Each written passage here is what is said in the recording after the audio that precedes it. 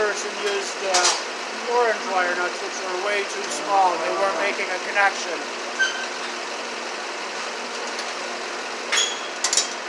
And all the lights are now working here on the funny farm.